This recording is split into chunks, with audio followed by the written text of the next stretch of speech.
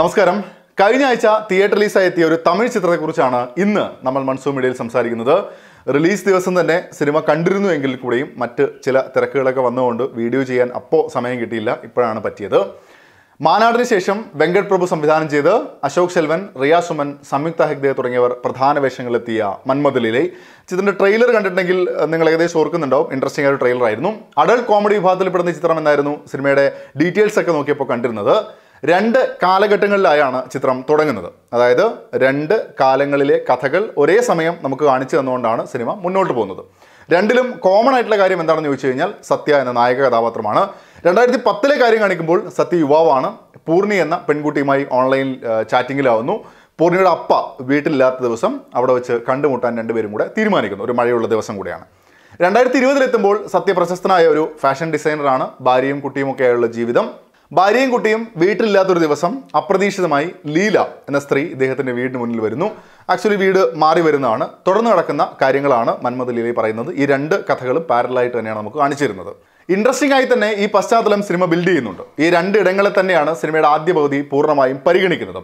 സിനിമയുടെ ഏറ്റവും വലിയ പോസിറ്റീവായി അനുഭവപ്പെട്ടത് അശോക് സെൽവന്റെ പ്രകടനം തന്നെയാണ്. രണ്ട് കാലഘട്ടങ്ങളിലെ സത്യയും മികച്ച രീതിയിൽ തന്നെ ചെയ്തിട്ടുണ്ട്. ഈ കഥാപാത്രത്തിന്റെ തന്നെ വിവിധ ഷെയ്ഡുകൾ തന്നെ ഈ രണ്ട് കാലഘട്ടത്തിലും മാറി മറിഞ്ഞു നിൽക്കുന്നുണ്ട്. അതൊക്കെ നല്ല രസകരമായി തന്നെ അശോക് ശെൽവൻ ചെയ്തിട്ടുമുണ്ട്. നായികമാരിൽ പൂർണിയായെത്തുന്ന സംയുക്ത ഹെഗ്ദെ ലീലയായെത്തുന്ന റിയാ സുമൻ എന്നിവരും അവർ റോളുകൾ നന്നായി തന്നെ ചെയ്തിട്ടുണ്ട്.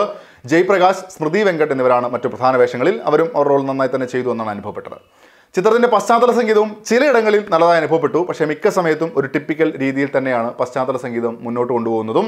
സിനിമയിൽ ഇടയ്ക്ക് വരുന്ന ട്വിസ്റ്റുകൾ പ്രത്യേകിച്ച് ഇന്റർവെൽ വരെ ഉള്ളത് കൊള്ളാമെന്ന് തോന്നി.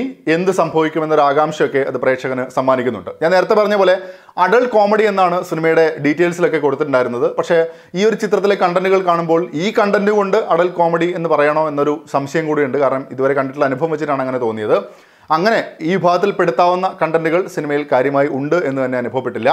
മാത്രമല്ല സിനിമയുടെ കഥ പറച്ചിലിൽ പലപ്പോഴും ഒരു പുരുഷന്റെ പേഴ്സ്പെക്റ്റീവിൽ കാണുന്ന കഥ എന്ന രീതിയിൽ മാത്രമാണ് അനുഭവപ്പെട്ടതും അതൊരു സിനിമയുടെ നെഗറ്റീവായിട്ട് തന്നെയാണ് എനിക്ക് ഫീൽ ചെയ്തത്.